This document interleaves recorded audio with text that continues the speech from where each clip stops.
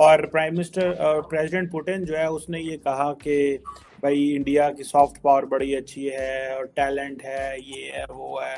और रिसेंटली एक कॉन्फ्रेंस में बड़ी तारीफें शरीफी की इंडिया की। रशिया की क्या वनरेबिलिटीज हैं दैट जिसकी वजह से वो इंडिया को वो समझता है कि इंडिया के बगैर मेरा गुजारा नहीं है, या I need Russia believe that they need India आजकल हमारी जियो में टेंडेंसी है हम हर चीज़ पैसे में देखते हैं।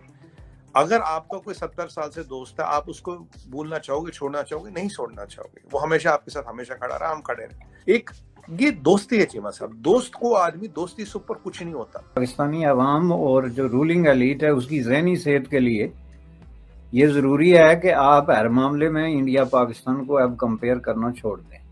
चूँकि इंडिया जो है, वो अब एक जॉइंट किस्म की कुवत बन गई है, जिसके पास पैसे हैं डेवलपमेंट है होप्स हैं। और दूसरी तरफ़ आपके जो ट्रेजरी है उसमें छह सात बिलियन डॉलर टोटल पड़ा हुआ है और उसको भी बरकरार रखने के लिए आपको हर दरवाजे डॉक्टर जयशंकर जो हैं वो रशिया पहुँच गए हैं। आप कैसे देख रहे हैं डॉक्टर जयशंकर के विज़िट को? एक इंडिया और रशिया के बीच में हमेशा बायोलैटरल होता है।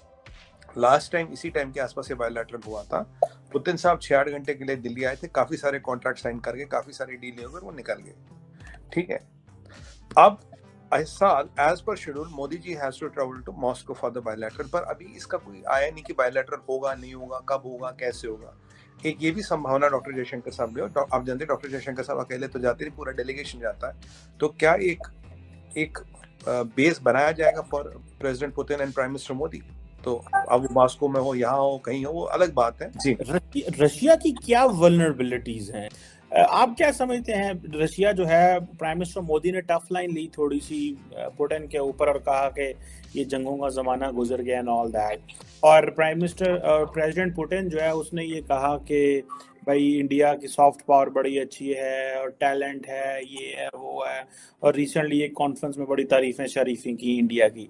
आप क्या समझते हैं, रशिया की क्या वनरेबिलिटीज हैं दैट जिसकी वजह से वो इंडिया को वो समझता है कि इंडिया के बगैर मेरा गुजारा नहीं है, या I need Russia believe that they need India क्या सिर्फ़ तेल है, या कि आप समझते हैं कि they don't want to lose their traditional partner as well देखिए, चीमा साहब, ये सवाल आपने बहुत बेहतरीन किया, क्योंकि ये प्यार है, एतबार है, भरोसा है, दोस्ती है और टाइम टेस्टेड फ्रेंडशिप है।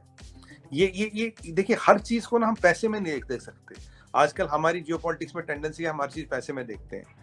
अगर आपका कोई सत्तर साल से दोस्त है, आप उसको भूलना चाहोगे, छोड़ना चाहोगे, नहीं छोड़ना चाहोगे। वो हमेशा आपके साथ हमेशा खड़ा रहा, हम खड़े रहे। एक, ये दोस्ती है चीमा साहब। दोस्त को आदमी, दोस्ती से ऊपर कुछ नहीं होता।